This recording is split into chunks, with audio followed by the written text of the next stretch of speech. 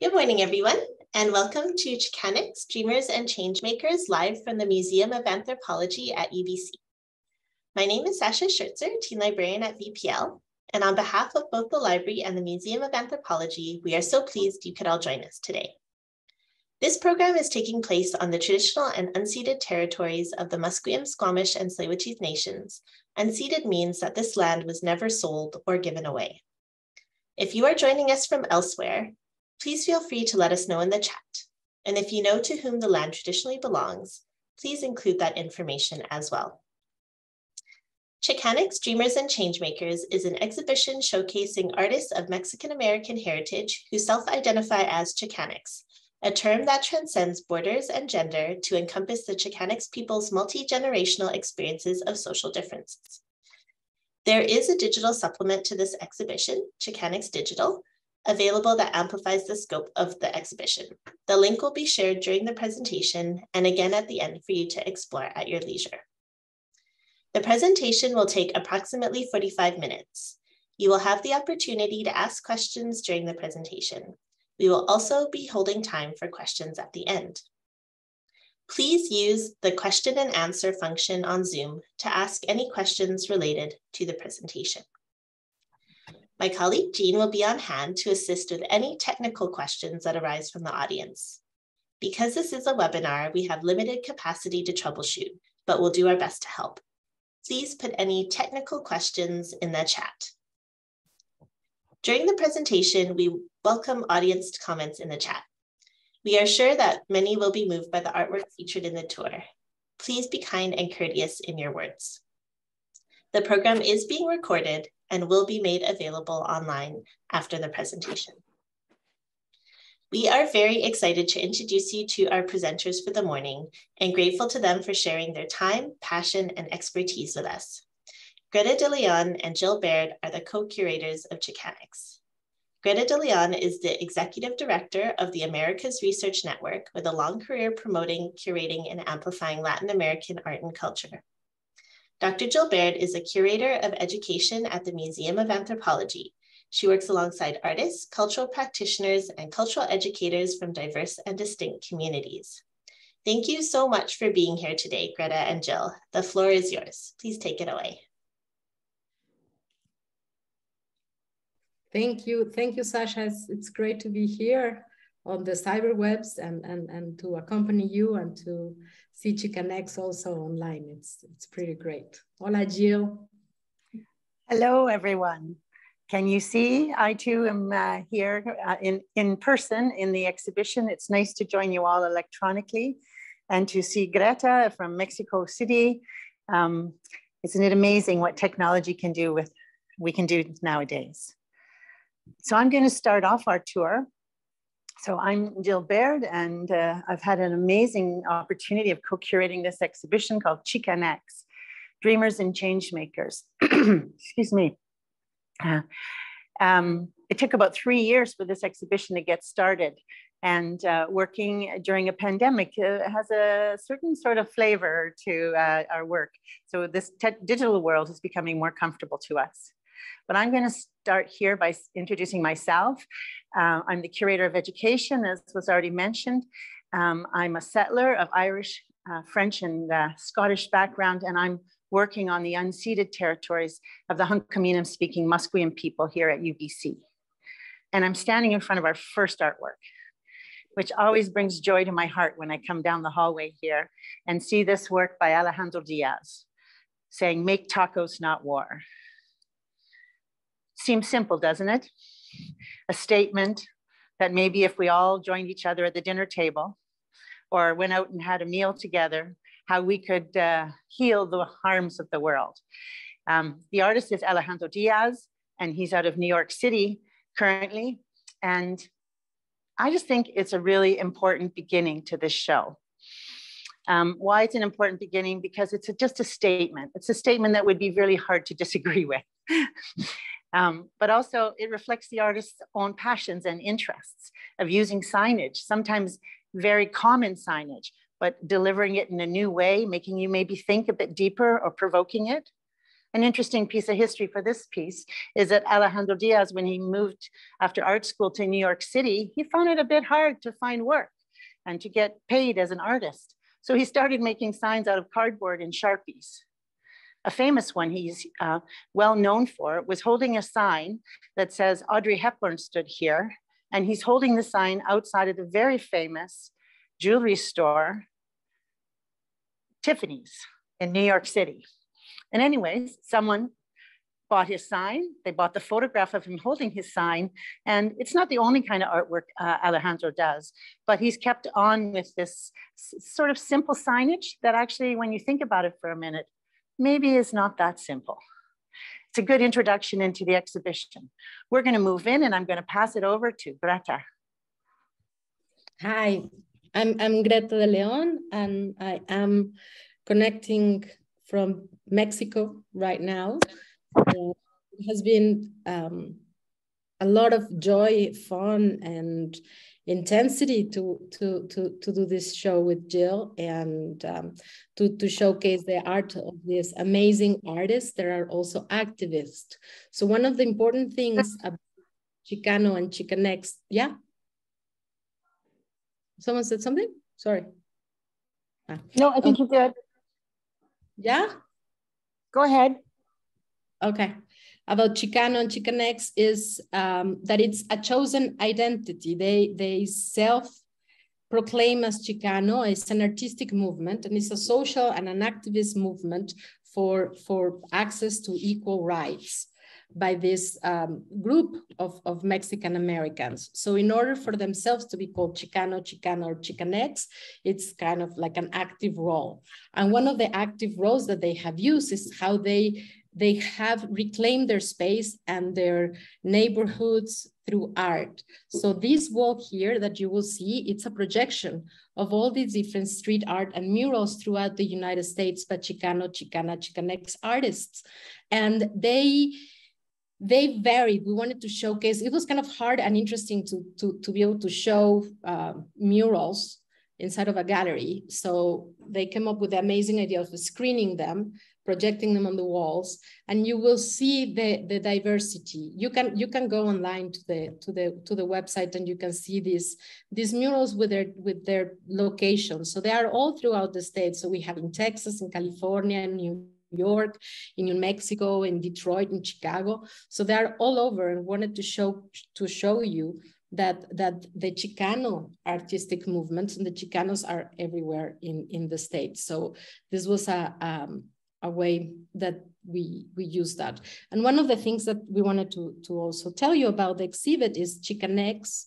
Um, we we spell it with an X at the beginning to to pay not not homage, but to recognize the indigenous roots in in in, in their original territory um, in the Nahuatl speaking countries. So the, the sound of CH that is represented by the Spaniards, the Nahuatl is spelled with an X. And the X at the end is to signify uh, inclusivity. So that's why the name is spelled as of the exhibit is spelled like that. You want to add something, Jill, about the murals? No, I think that, thank you. I just think it's, um, would be an amazing trip, actually, take a road trip and uh, drive around the United States just looking for Chicano, Chicanx murals. We're gonna move to the next work and it's by an artist named Esther Hernandez. There's over 33 artists in the show. So this morning, we're just giving you a real snapshot of the exhibition. So this is called Libertad by Esther Hernandez. What are your thoughts, Greta? Yeah, Mi Libertad. This is this is a really really important print. Esther Hernandez is a very established and kind of like the old school and one of the beginners of the of the movimiento. It's one of the iconic leaders, um, artistic leaders, and and a fantastic artist. And the way she she worked this piece is you have the Statue of Liberty, right? That is like everybody knows it. But then you have this woman that is carving away her identity in this in this structure. So underneath the Statue of Liberty, where she is carving away, is a Mayan stela. So I think this piece really hits on the essence of the of, of the movement and on, on the exhibit you see Aztlan. Aztlan is the name of the of their ancestral homeland um, for the for the Chicanos. Chicanos is it's a really interesting composition and cultural composition and genetic composition. You have they are Mexican American descent, but at the same time they are U.S. citizens, right? So it's not like anybody can claim to be a Chicano. They have a very specific sets of concerns and of um, issues that they wanted to address, and the connection to the um, indigeneity, it's very important for them, these linkages and to embrace these linkages and to embrace this origin. So I think this, this piece is very, is very appropriate to, to, to show you what we wanted to say in the exhibit and, and, and to summarize a lot of, of the work of the, of the artist. Thank you, Greta.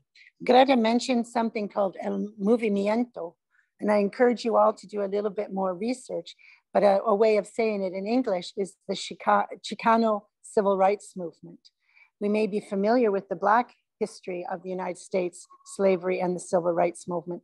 I think many of us, particularly in Canada, have a lot to learn about the Chicano Civil Rights Movement.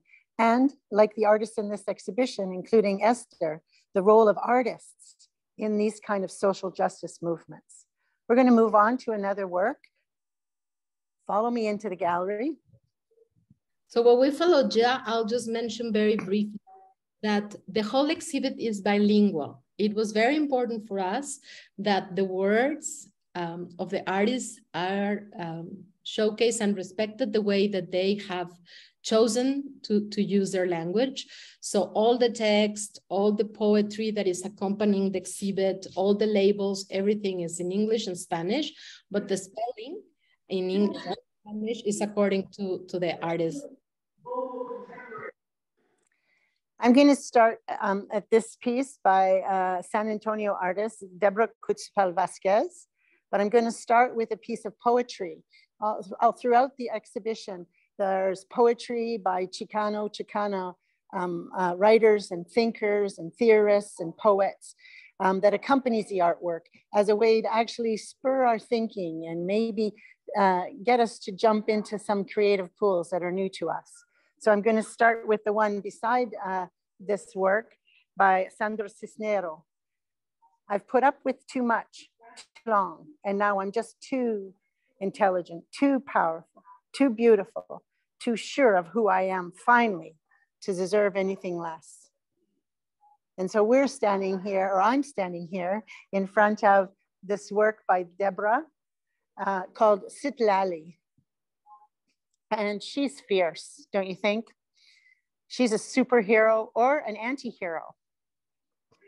Uh, Deborah Kuetzpal Vasquez is a very strong Chicana feminist and a queer activist. And she really wants the woman's body to be seen as a powerful, uh, take no, uh, take no guff, if you can, if I may say so. On Citlali, we have on her chest a very common uh, figure, um, the Virgin of Guadalupe. But this Virgin of Guadalupe, she's on fire because of the passion and strength that this woman holds, but also because of the history that this woman represents. If we look around the, uh, the, the, surroundings that Citlali's in, we have the moon and the stars through the windows in the kitchen. We have the foods, traditional foods being she's being surrounded by, from frijole, maize, maguey, chile, calabazo, nopal, and amaranto. These are all really important foods, but what uh, Deborah is trying to um, make relationships to is the matriarchy, the women in her lives, her grandmothers and great grandmothers and aunts who are part of the, her teachings.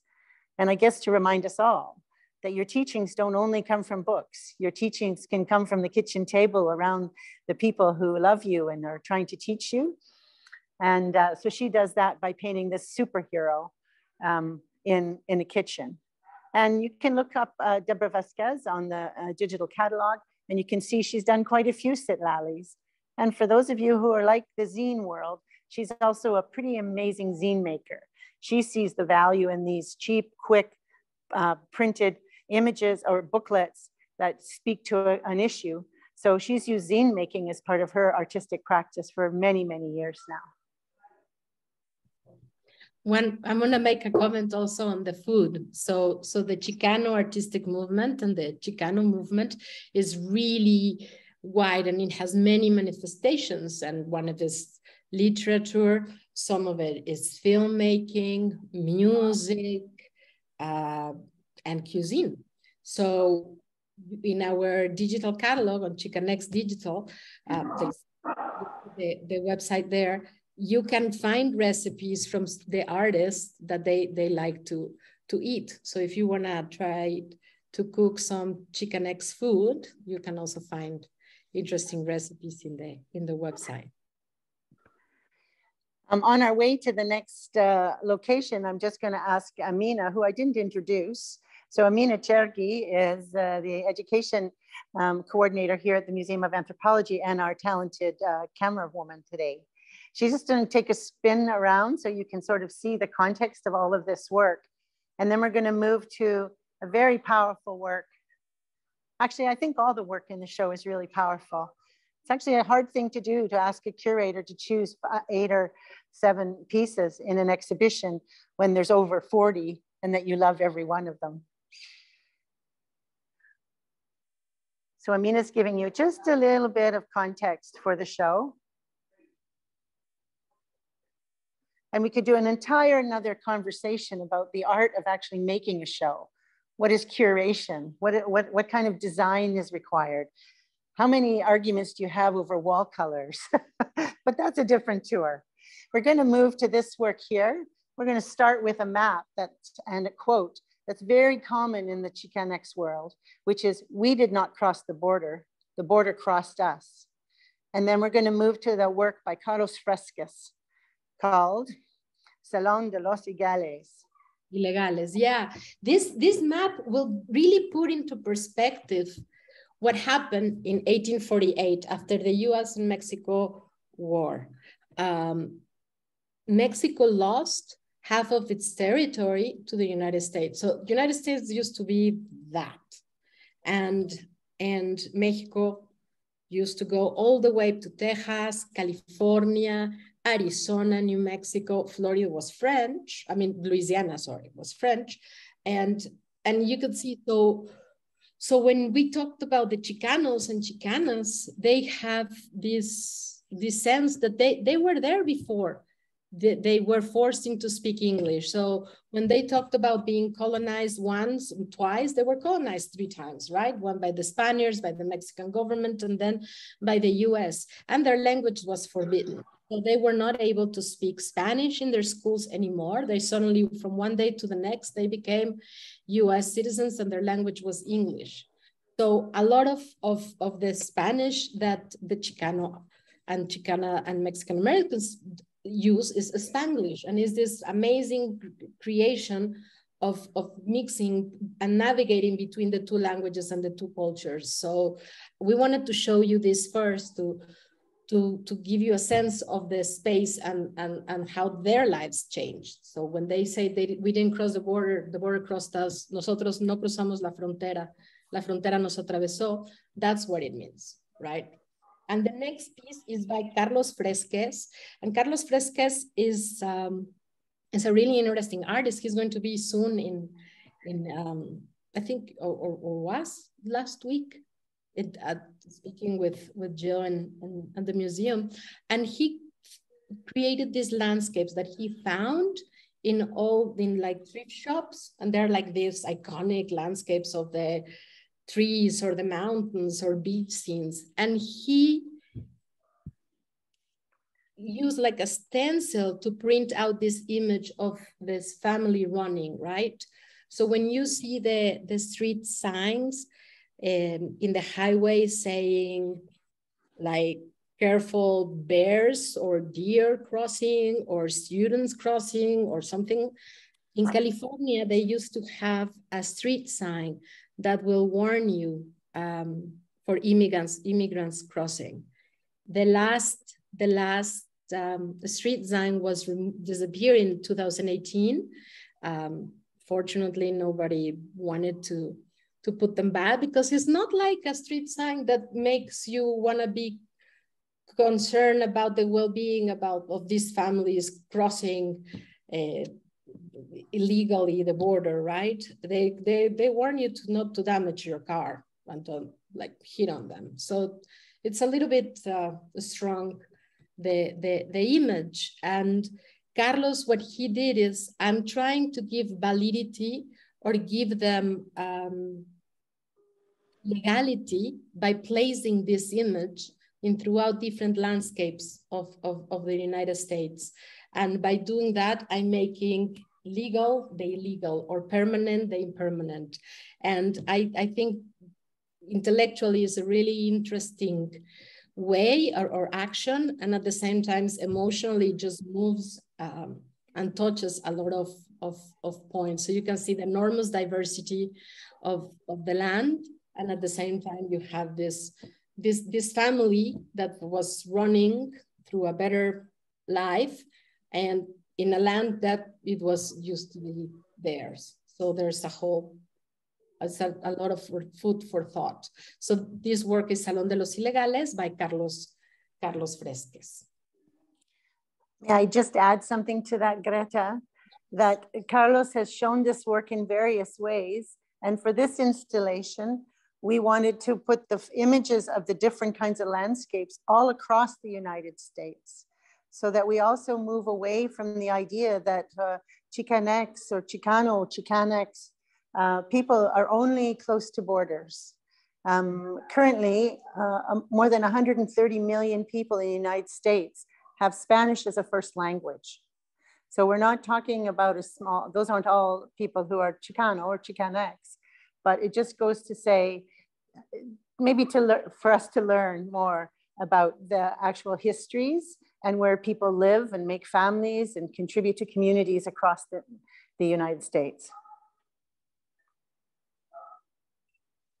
We're going to move on to an, uh, oh, I'm sorry, Greta, would you like to add something?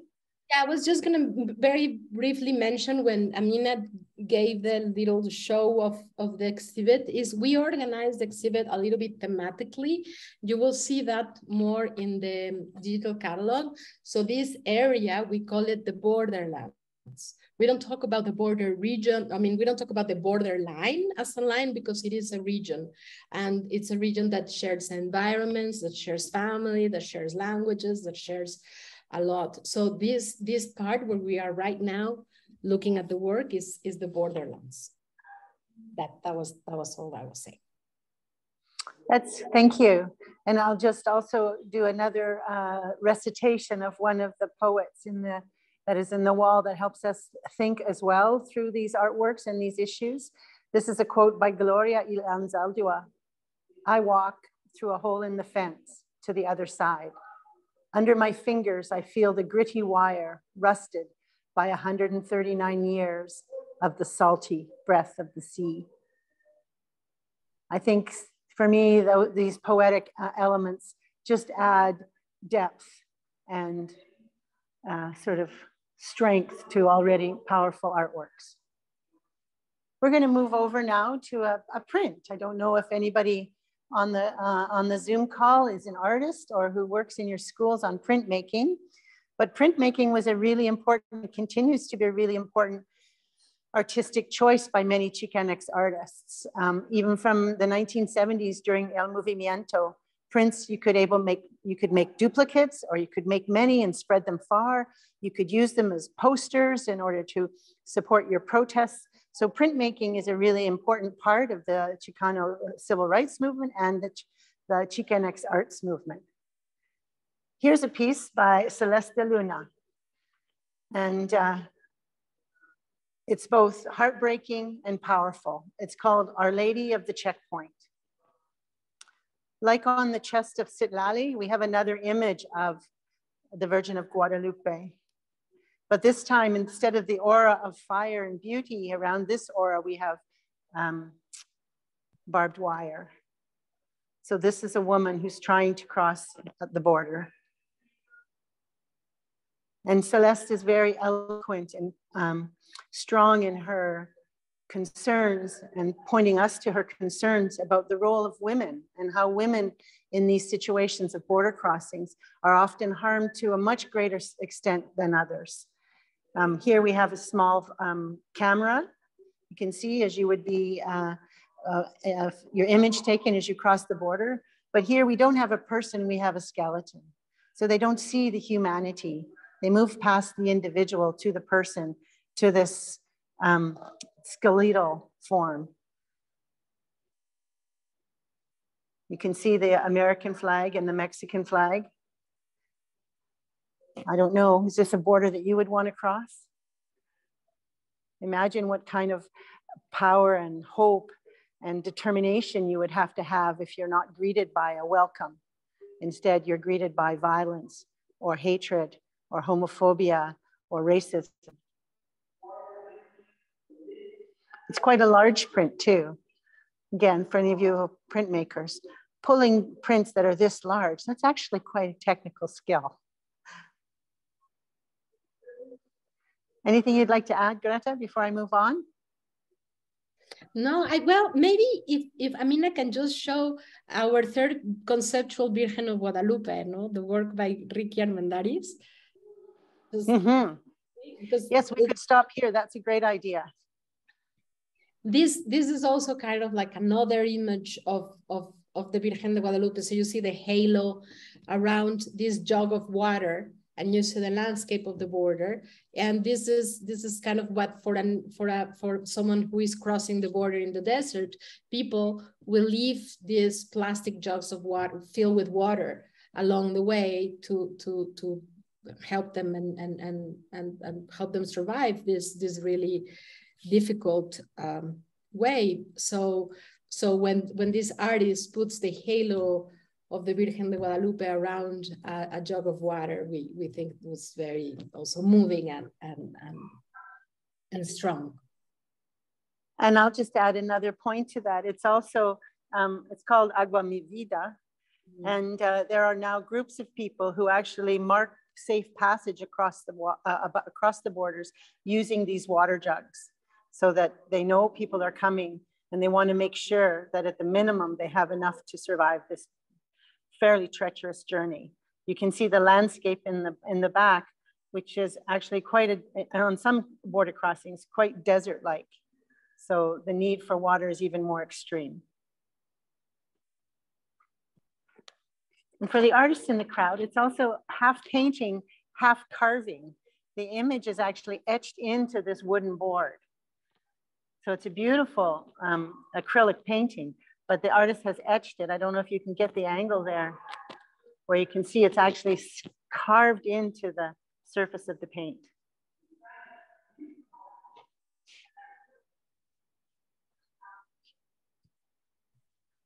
How are we doing for time, Sasha? You might have to give us a. uh, very good, very good. Got about 20 once minutes. You get, when you once you get Greta and I talking, we could go forever. So the next work we're in front of is an entire wall of portraits, black and white, beautifully rendered, just beautiful faces. The work is called Justice for Our Lives. And it's by an artist named Oree Originol. It's a name that he's chosen for this particular work. His name, if you want to search some of his other artwork, and you can see that on the Xicanx Digital, is Danielle Jimenez. This is uh, quite a powerful and very often disturbing work for many people. So I'm just gonna give you a bit of a warning. It, this, this work can be highly emotional for the viewer. And of course, it was very emotional for the artists. It's 100 portraits of Black and Brown people, Black people in Chicana, Chicanx, who have been killed by the police since the year 2000. So it speaks directly to police violence, um, racial profiling, racism and homophobia.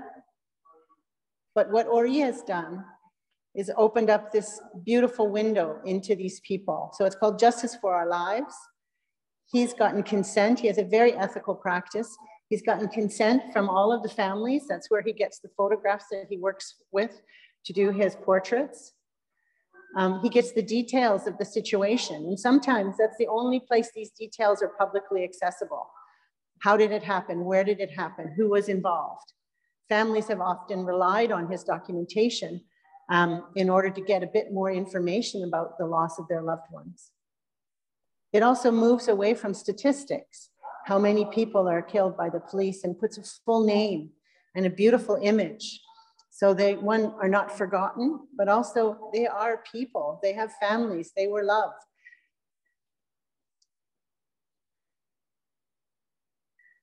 We have a, a summer uh, Indigenous uh, uh, youth program here at the museum. And this summer they trained to give, become tour guides. These young Indigenous high school students became tour guides of this exhibition. And one of them who was uh, Afro-Indigenous really took to this work. First, she was pained by seeing it, uh, tears and uh, worry. And then she started looking and she said, I wonder if the artist made it black and white so that first you see their humanity. Hmm. That's nice. And I thought, you know, for all of us, we all have so much to learn, but also we need to see each other's humanity first, and then continue that in our bodies, in our minds, and our souls. They're powerful portraits. One other, uh, just a side note about you know, the curatorial process and working to put up an exhibition. Um, both Greta and I were completely struck by this work and it needed to have a very large presence in the gallery. These, this, these, these histories need to be better known in the installation. These are um, it's these are free. You can go onto his website. He charges no money. You can download them and spread them around. He would be very happy to see them on um, telephone poles and street signs, street sides. So when we put it up, um, we used uh, wheat paste like you were if you were doing postering around town. But we invited the people who put it up to uh, remember the name of one of the uh, people that they put on the wall. That included myself, my staff, my grandkids, and a group of Latino artists who came in and um, helped uh, paint these onto the wall. It seemed like a nice gesture to also keep that remembrance in place.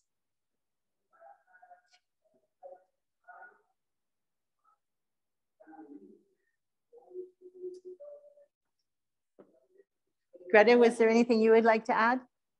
No, all you, right. You did that beautifully. Maybe just, just a minute to reflect on all these people, boys, girls, men, women.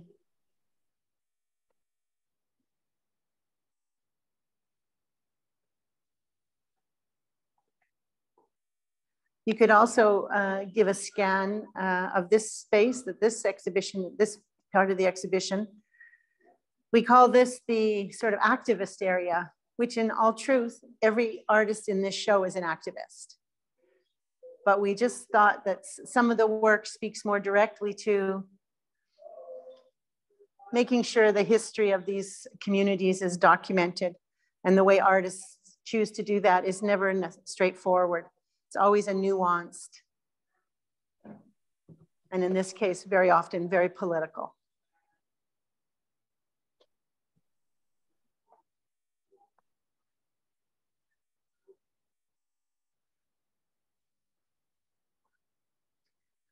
We're going to go to another work. And this time we're going to let the artist speak for a little while and then, um, and then Greta can fill you in.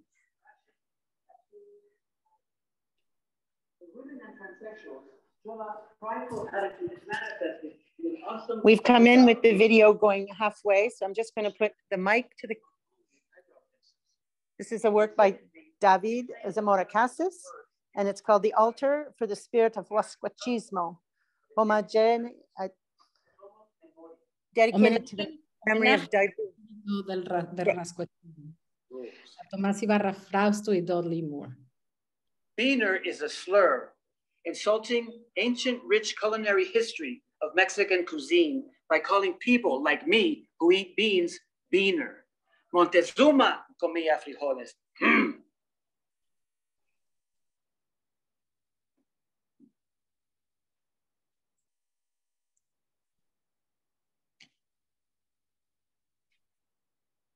With purity of emotion and depth of the highest vibration. This altar installation honors the author of the essay Rascuachismo, a Chicano sensibility, and is dedicated to the late Mr. Dudley Brooks, paying tribute to the both living genius and the dearly departed. Since the day they met, July 22nd, 1968, Don Tomás Ibarra Frausto and Dudley Brooks have shared a spiritual union, 53 years. On a March morning in 2022, Dudley Brooks transitioned into the infinite power of the universe. Mr. Brooks fell into a deep, deep sleep, shutting his eyes, never to open them again. Eyes closed, spirit separated from body, body separated from shadow. I pictured Dudley in his guayabera and elegant brimmed hat, in all his radiance and glory. I hear him advise me, David, never take advantage when you have the advantage. Life is not about the money. Life is about self love love of language, love of culture, love of literature. To love is to do for another. I hear the voice of Tomás say, Tú eres mi otro yo, mi media naranja y medio limón. Dudley Brooks, presente. So this this was a very moving and, and strong experience um, for us.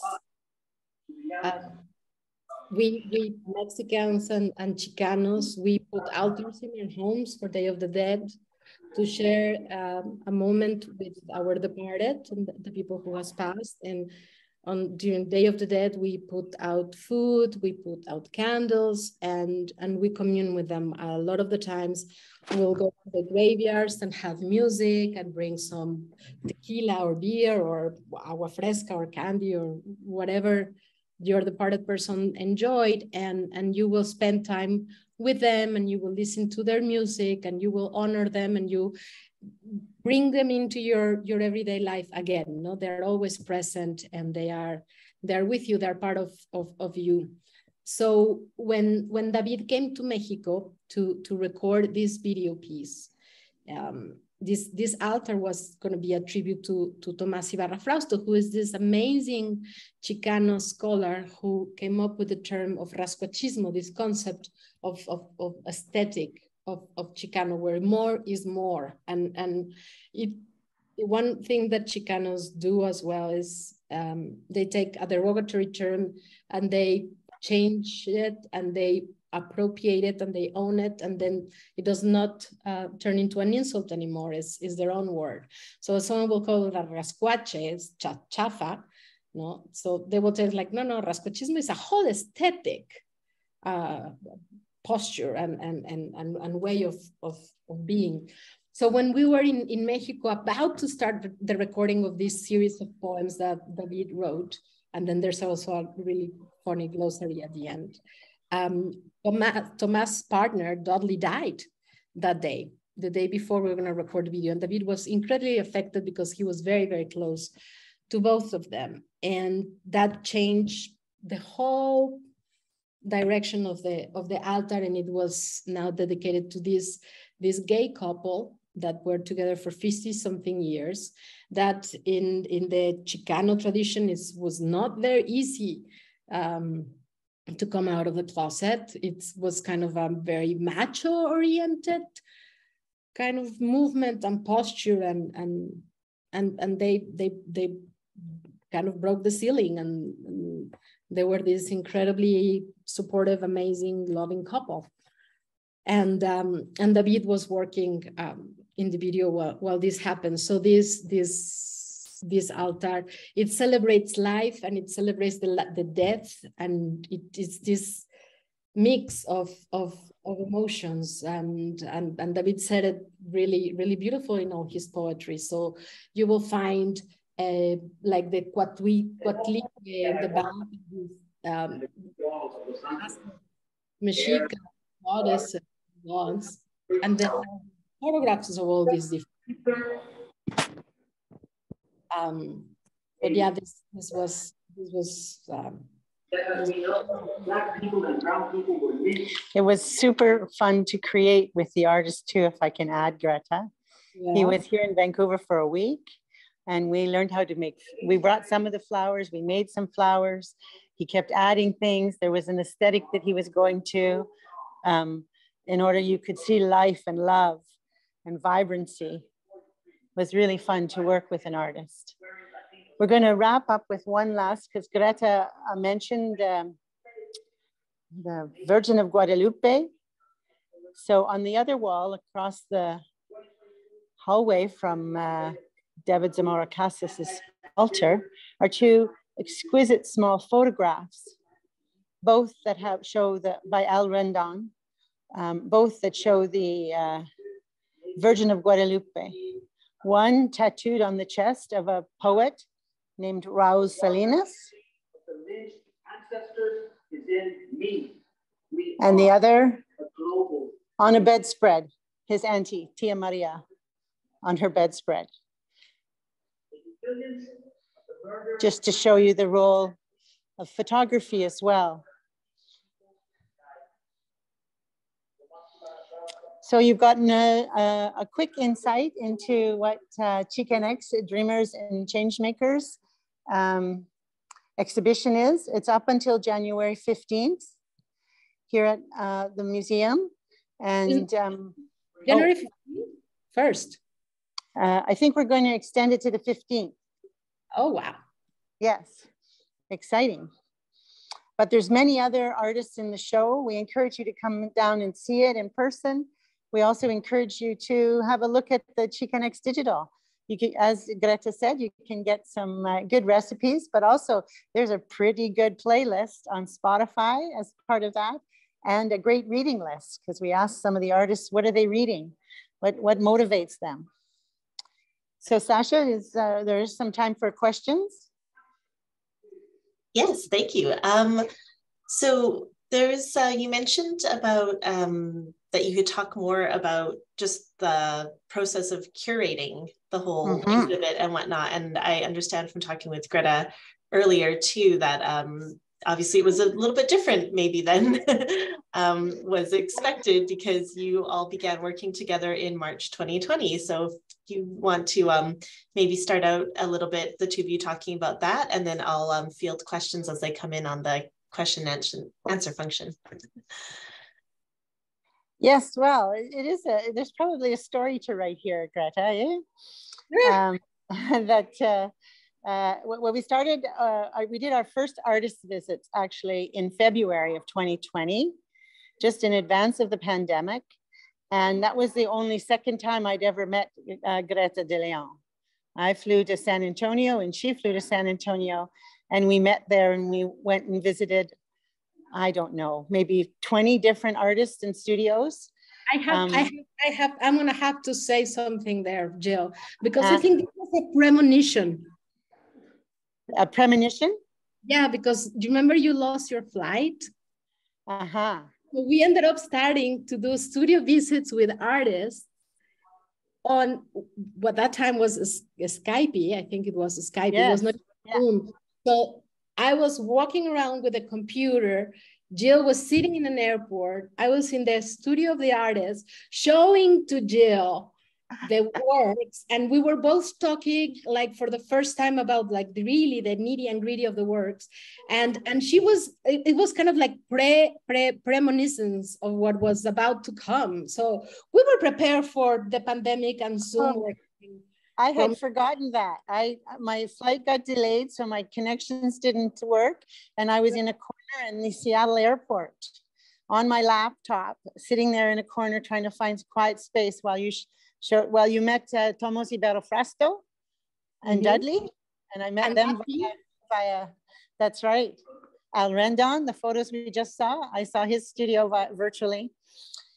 So we did get to see a few of the artists in, in, in real life, which is amazing. And, you know, in the best of all words, the best way to do it, because then you get to have a cup of tea or coffee and visit um, and see a breadth of their work. But after um, the pandemic hit, I was actually visiting artists in Los Angeles for this show. And the world shut down, as we all know, on March 13th. So I flew home. And after that, we continued to meet some artists, but it was via Zoom and they walked us around their, um, their studios or they showed us uh, images of their work. And then Greta and I worked on which works we wanted in the show. You go back and forth and you say this one, that one, not that one. And then sometimes some of the work you want, you can't have because uh, there's a whole challenge in bringing artwork. It has to be available. Um, we worked at choosing colors. I vividly remember um, a meeting where Greta was, I think, in Mexico at the time, on Zoom for sure. Um, and we were using colors for the walls. And we had to hmm. make sure that the color that she saw on the screen was as accurate as possible to the real color because sometimes color morphs on in technology. Um, it was an amazing process. We worked with exhibition designer Skooka Broom and graphic, uh, graphic designer Cody Rocco. And it's such a back and forth process. This is not, uh, the artist says this and the curator says that. It's a much more collaborative, many, many conversations.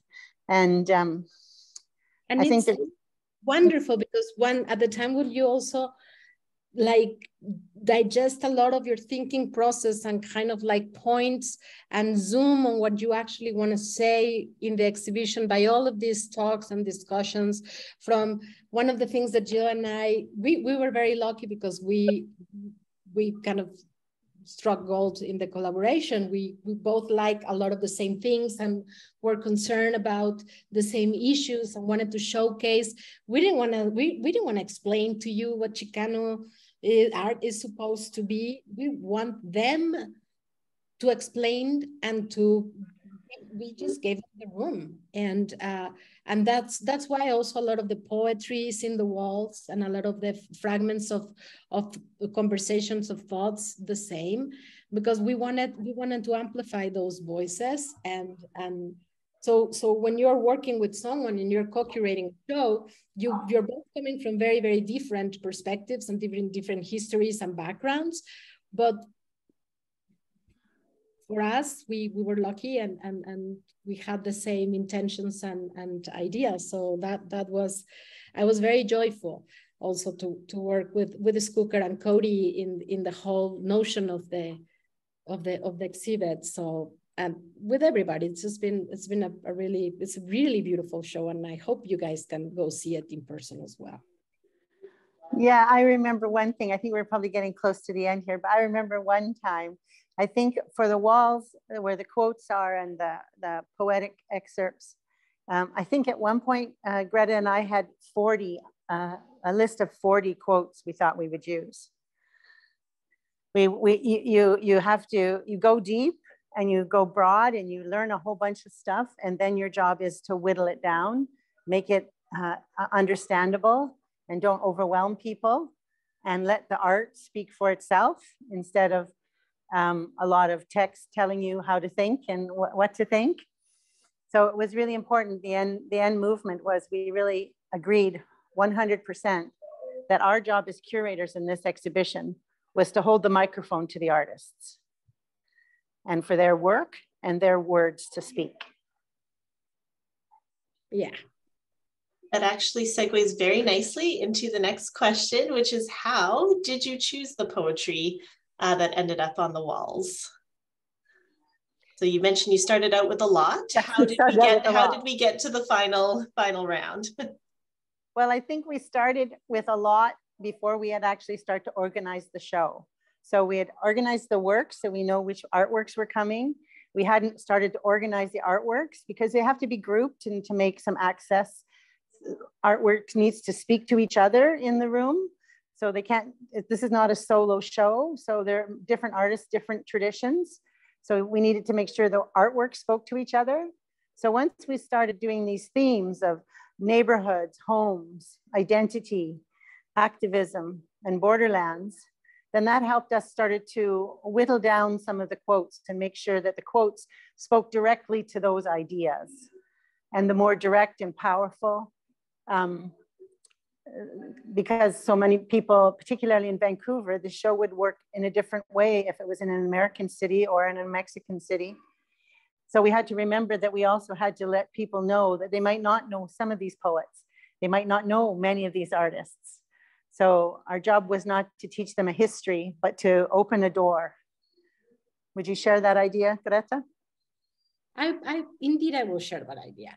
And, and also to have a diversity of, of the works, that we will have the same number of women writers as male writers. We, we, we constantly had that, that concern that we will, that we will give them the, the same room and, and um, mm-hmm. so, so that, that was important for us as well. And, and we selected the works also having really old fragments of kind of like the essential poems or texts by the Chicano movement, as well as really, really new ones, uh, poems like the one behind Jill or, or, or, others. I mean, there's there's there's that we wanted to to, to showcase that that variety. You can also read all the text in the chicanxart.com. Wonderful, thank you. And um, let's go for one last one, which is always, I think, a nice one. Um, what are your favorite works in the oh. exhibition? That's All so hard. All of them. Depends okay, on the, for me, depends on the day. For me, it depends. depends on the day. Okay, that's I like that. Today, my favorite work is. exactly. Today, my favorite work is Ester Hernandez's. Ah, so Libertad, Libertad. So today my favorite work is Citlali. And that's mostly because, well, I think it's good any day, but uh, we had the pleasure of having uh, Deborah Kuetzpal Vasquez in Vancouver last week in person to give some artist talks. So her energy is still in the room for me. So mm. this would be my favorite work today. I'm gonna I'm gonna do a disclaimer, Jill, because that, that's your favorite work a lot of the days. How can you go wrong with such a powerful woman?